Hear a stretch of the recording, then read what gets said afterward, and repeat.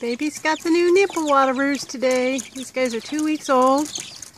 Just put in the new nipple waterer that is on a recycled apple juice jug. Two nipples at the size price of about 50 cents a piece. And we got 27 happy little baby chicks.